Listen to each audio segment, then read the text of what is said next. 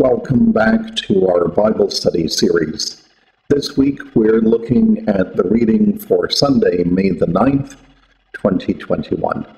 It is Galatians chapter 1, verses 13 to 17, and chapter 2, verses 11 to 21. If you haven't had a chance to read the passage yet, then I encourage you to take a moment and pause the video and do so. Read it in your favorite Bible translation or use the link that is below in the details section. If you don't have time to read the passage, here's a short summary of the second part at Galatians chapter 2, verses 11 to 21. There's two parts to that reading. It's been titled by the translators of the NRSV as Paul Rebukes Peter at Antioch and Jews and Gentiles are saved by faith.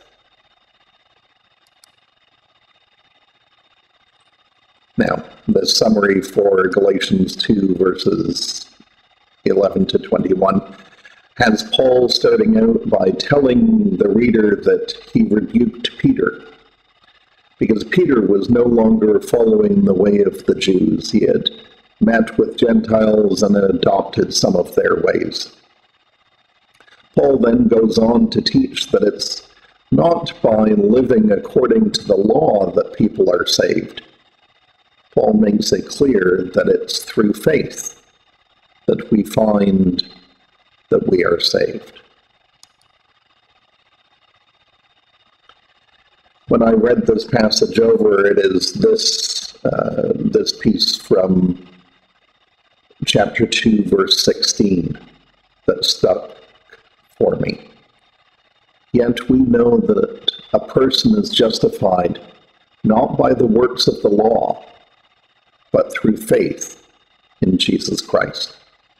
Those two words in particular law and faith. Now, while we might know what laws are here in this time, granted, we, unless we're a really stellar lawyer, probably won't know all of them, and we might not even agree with all of them.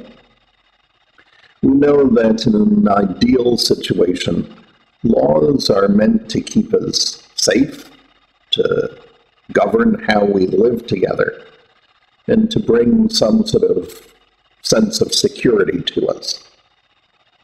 But what about in a biblical understanding? I found this quote in a Greek English lexicon of the New Testament and other early Christian literature it says that the law is a collection of holy writings precious to the Jew. Now, this leads me to our first question for today. What writings do you think are precious? Now, the answer could be scripture or non scripture. Maybe there's a piece of poetry or fiction that you find so moving that you'd consider it precious.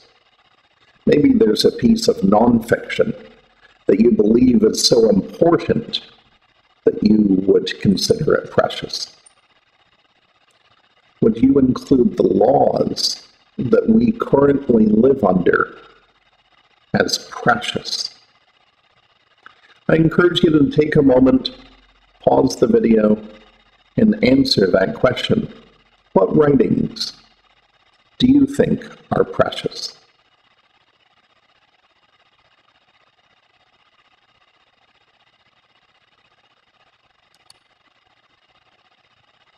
Faith was the other word that stood out for me in this passage. We talk about being a people of faith, and we talk about there being many faiths in the world. Now, we can have faith in other people.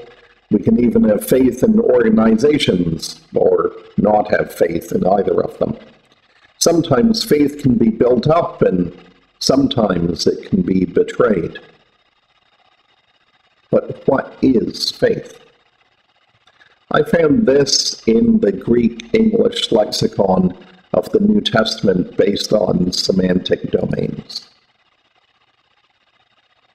Faith is to believe to the extent of complete trust and reliance, to believe in, to have confidence in, to have faith in, to trust, faith, trust.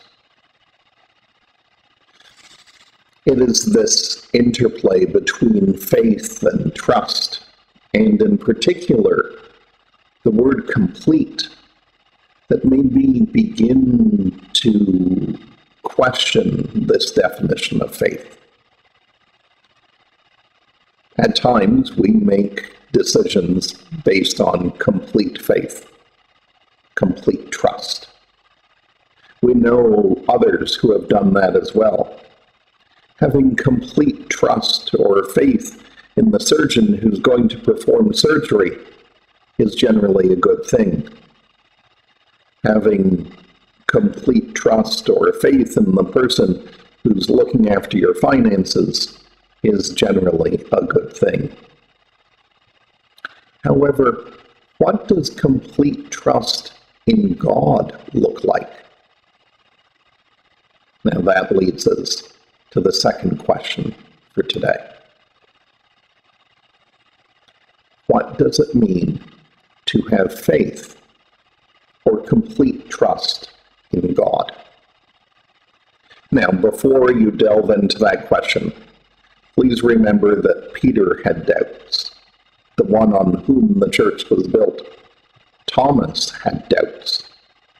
And it's natural for us to have doubts. I'm not thinking about the the ideal of of faith being complete trust. But I am wondering about the reality in our situation.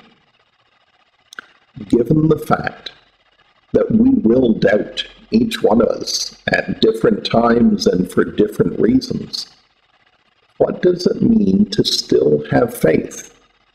or still find a way to have complete trust in God.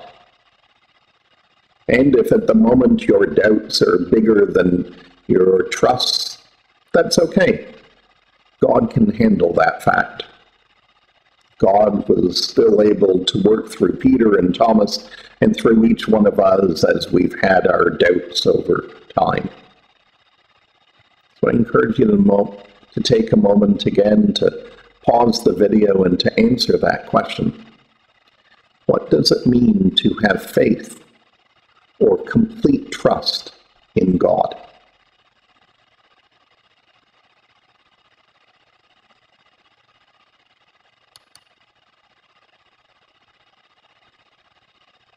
Well, now that you've taken some time to answer all those questions, I'd love to hear your thoughts.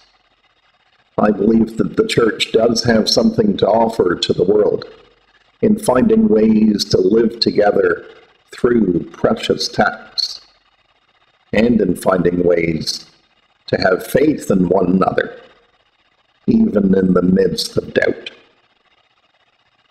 We can only build up the world to be a better place if we live together peacefully and trust in each other.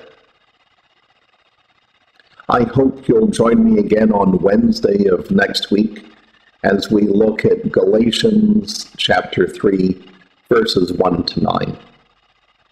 Until then, peace, blessings, and I hope you and those you love are well.